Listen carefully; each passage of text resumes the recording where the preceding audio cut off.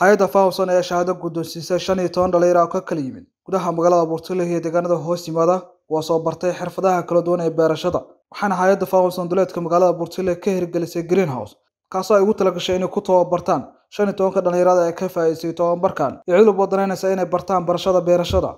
Maamulka degmada buurtile iyo mas'uuliyiinta hay'adda fawson ayaa si wada jira shahaadooyinka u guddoonsiiyey dhalinyarada ka faa'iidaystay tobabarkan waxaan ugu horreyn munaasabadda ka hadlay cabdinuur cali cismaan oo ka mid ah mas'uuliyiinta hay'adda fawson sanadkan buurtinle waxaa jirta waxaan ka asaasnay greenhouse. Greenhouse-kaan buurtinle ka dhisnay oo aan ugu talagalnay inay noqoto santar lagu tababaro dhallinyarada reer buurtinle ee beeralayda ah.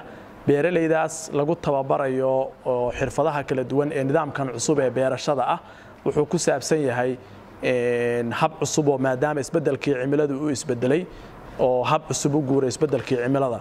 In mataqaanaa nidaamkan cusub dadkan lagu tababaro sida u shaqayn lahaayeen wax soo saarkana loo kordhin lahaa haddii rabbi idmo.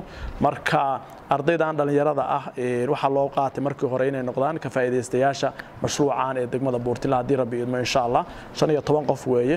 Shan iyo tobankaa qof waxaa loogu tababaray greenhouse-kan tababaradii practicalka ahaayoo la siinayey sidii greenhouse-kan loo install garaynayey ama loo sameynayay iyo farsamadu u baahnaa qalabku ka samaysan yahay sida loo diyaariyo cabarkuu ku fadhiyo waxyaabahaas dhan sida land preparationka loogu samaynayo wax walba oo dhan in loo ay markii hore fahmaan.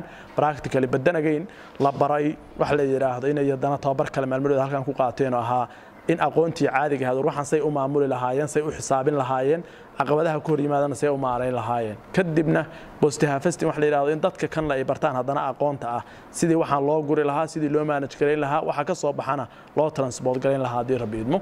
Marka tababaradaasi inta badan waxay kaabaysay aqoonta beeraha dhallinyaradan qayb beeraha awalna baratay qaybna ku jirjirto beeraha bay ahaayeen iyo dhallinyaro xiisaynaysay. Marka inay aqoontan casriga ee greenhouse-yada iyo nidaamkan wax ka bartaan baa inta badan la xoojinayay. Marka tababarkaa qaybahoodii ay qaateen waxay ahayd in loo helo referency shahaadooyin baan u diyaarinay tababaraday qaateen dhammaantood ugu wada cad yahay.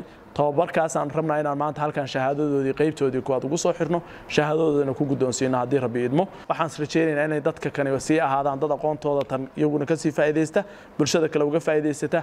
Annaguna aanaan halkaa uga harina waa la wadayaa tababaro kalea la siinaya xirfadaha la siinaya gacantaa lagu haynayaa waxaanay barteenna inay ka shaqeeyaan baa la rabaana wax soo saar laga soo saaro oo practically loogu bedelo iyagana kadibna wixii laga caawin karo laga caawiyo haddii rabbi subxaana watacaala iyonu idmo. Sidoo kale degmada buurtile waxaan aad uga mahad celinaynaa muddadii aan halkan ka shaqaynaynay greenhouse-kan aan dhisnay. Degmadu waxay noogu deeqday dhulkii lagu beeri lahaa greenhouse-kan oo ah santar tababar ee beeralayda buurtinle ay ka wada faa'iidaysan doonaan insha allah mustaqbalka. Dhanka dhalinyarada ka faa'iidaystay tababarkan ayaa ka warbixiyey sida u arkaan barashada xirfadaha kala duwan ee beerashada. Lix beri qaadatay in ay tababarkan nagu siiso waan uga mahad celinaynaa tababarka. Waxaan kaloo uga mahad celinaynaa waxa ay ku soo kordhisay degmada buurtile oo ah greenhouse. Greenhouse-ku si aad ogtihiinba wuxuu anfacayaa degmada buurtile waxaan leenahay waa ku mahadsantihiin. Dhallinyarada ka faa'iidaysatay hay'adda fawsom wixii ay inoo keentay oo ahaa beeralayda iyo inaan noqonno dad ku baraarugsan wacyigelinta beeraha. Markaynu ka hadalno bulshadeena soomaaliyeed ama tan badanaa inagu waxaynu ku xisaabtanaa sida waxyaalaha kale. Haddaynu rabno inaynu taajiriin noqono waxaynu ka raadinaa farsamooyinka kale laakiin beeruhu waa wax aad iyo aad u qiimo badan.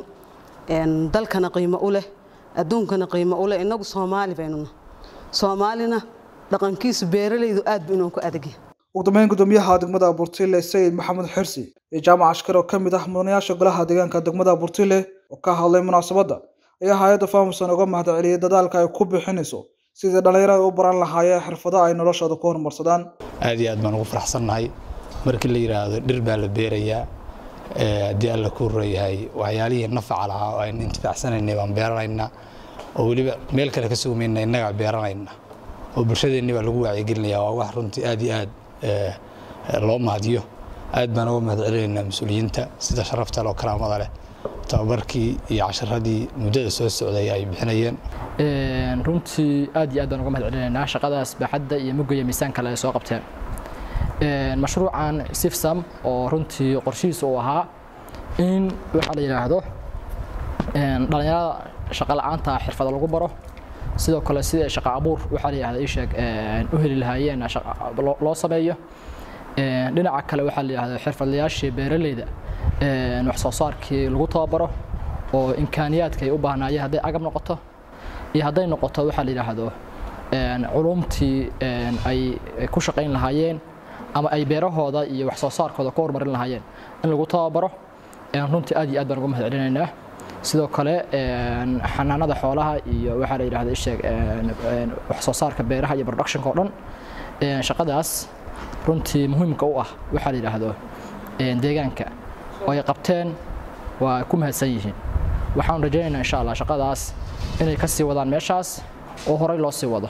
Imkaaniyaad ah iyo wixii saboot ah oo degmada uga baahataan insha allah dhinac walba insha allah anagu diyaar baan idin leenahay maadaama aad xambaaraysaan cilmi iyo aqoon oo dadkiina aad gaarsiinaysaan maxamed suldaan warbaahin dowladda puntland magaalada burtile